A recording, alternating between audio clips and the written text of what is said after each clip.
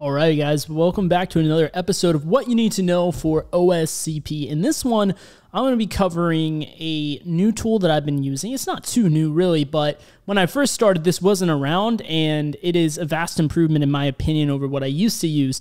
So, this one is going to be featuring LinPeas. Now, if you're dealing with a Windows box, there's also a Windows version of this called WinPeas, and uh, the context you're going to use it in is if you have a shell on the system already, but you're only a user level account.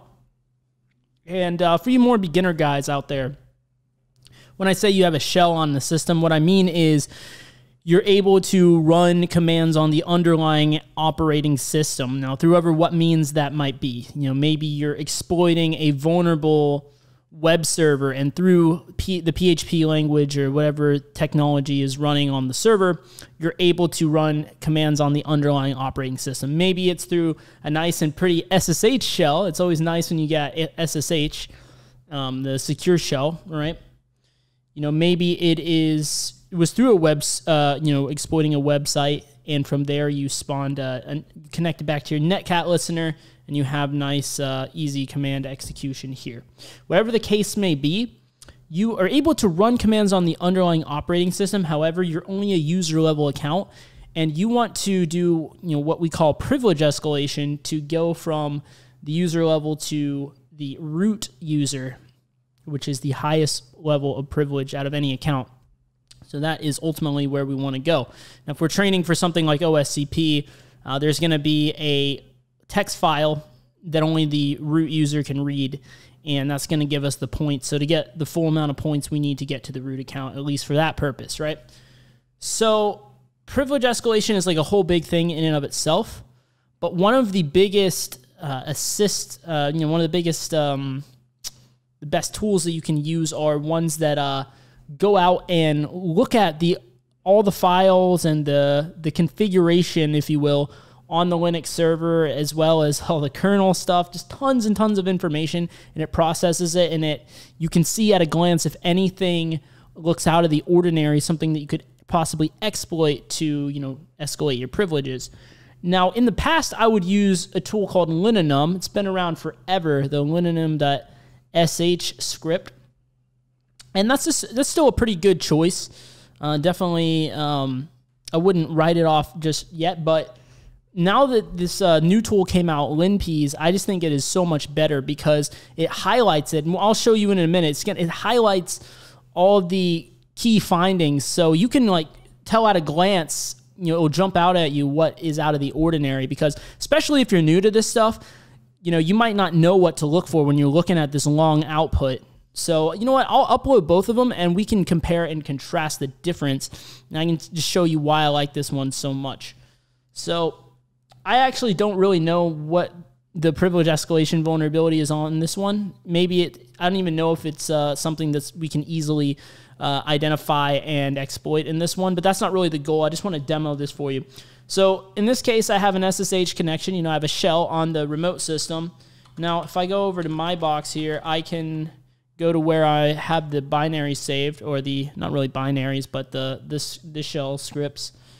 Uh, in this case, for me, having an op privesc. First things first, I'm going to show you guys the linunum.sh. This was the one that I used to use originally. Okay, I'm going to fire up a Python web server here on port 80, and I'll just use wget to pull it down. So let's see, my IP address in this case is going to be this one here. So we go down here and we'll say linunum.sh and we'll go ahead and make it executable. And yeah, I'll show you what it looks like. So this is uh, this is what I used to use. I'll just go ahead and full screen this a little easier to see because there's a lot of output. So as you see, it's doing tons and tons of checks. And if you're completely new, and even if you're not new, to be quite honest with you, it's still a lot of stuff to look through, and it's very easy to miss key information, right? Because chances are you're going to kind of glance through this, right? And if you're not glancing through it, then it's going to take a pretty long time, right, to go through the whole thing. You look through this and uh, try to notice anything out of the ordinary, right? Um, especially on the tougher boxes. This can get pretty difficult. And It's very easy to miss stuff. You get my point, basically, right? Tons of information can easily miss stuff. Let's compare that to the tool that I now like to use over this one, which is LinPeas. So if I go back here and kill this server, I'm going to go into privilege escalation, awesome script suite. And see, there's a LinPeas and a WinPeas. We're going to use LinPeas because we're dealing with Linux here. And uh, same thing, we'll fire up the web server in this directory now.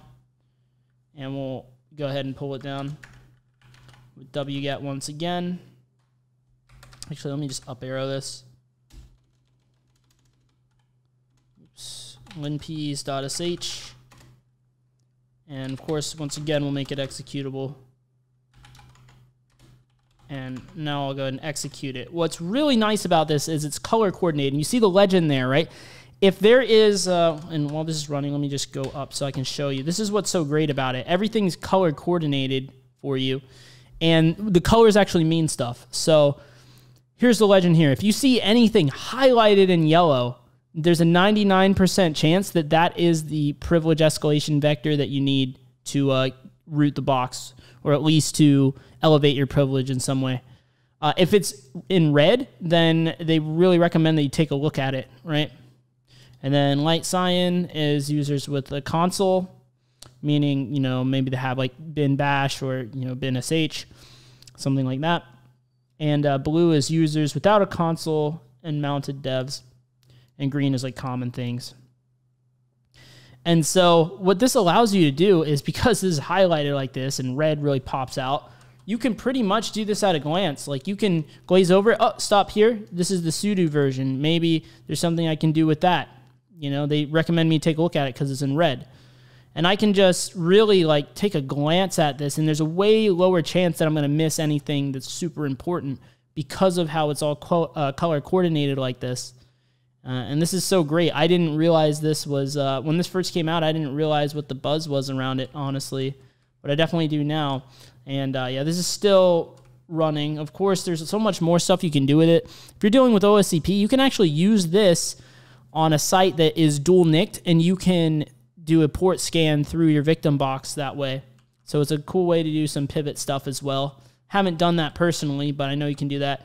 But yeah, I've definitely worked on boxes before with this script where I just glanced down, saw something highlighted in yellow, and sure enough, that was the vector to get privilege escalation. So I've had a lot of boxes where I literally did the privesc in about five minutes or less because of this, uh, because of this post exploitation script here. Uh, and so that's basically the idea. And uh, let's see, still running here. Let's see if there was anything of interest. I really, it's been a long time since I've done this box. I don't know how simple or difficult this one was on the Privesc, really. But uh, if it is anything obvious enough, then it will jump out to us. And if not, of course, that's when we start looking into more of the, the red text. And, and it gives you a great way to really run your methodology, right? The best way to run your methodology is the easiest things with the highest ROI first, and then you go down into the more and more time consuming things, right? So that have a lower chance of success, right? So we'd start by looking through are there any yellows? Okay. We don't see anything highlighted in yellow, we go through again. Okay, what what about the stuff in red? And we start looking into all that. And then, okay, what about the stuff in cyan, right? What about the stuff in green? So it's pretty much uh, a solid methodology that we can apply, and it makes it really easy because it's color coordinated. And same thing with the, the Windows version of this too. Uh, it's also color coordinated. Here we go. We see there's actually a database that is uh, accessible through the loopback here. Maybe we can find some database creds and uh, log into the database and see if we can get some further credentials from there, things like that. Uh, but uh, yeah, that would give us. This one wasn't an ultra easy box, but uh, it still gives us a lot of leads that we can go off of, especially if we go back through this, looking at all the red text and things like that. So hopefully this was of help to you guys. I definitely wish I would have known about it. I wish this tool was out when I first started. Uh, to be honest, would have saved me a lot of time on uh, privilege escalation. And the more you use a tool, like pick a tool. If it's Lindenum, it's Lindenum. You know, if it's this one, great. If it's another one, great. But just pick a tool and use it consistently and that way you know what the regular behavior looks like. So if there's anything that's out of the ordinary, it's going to stand out to you extra, uh, extra strongly. So that would be my advice to you. Uh, so yeah, go ahead and uh, subscribe to the channel if you haven't already. Hit the like button to help get this message out there. I'll see you guys right over in those videos on screen now. If you want to get started on what you need to know for OSCP, go out there and apply, working on your PrivEsk, and yeah, let me know how it goes down in the comment section below. I'll see you guys over there. Thanks for watching.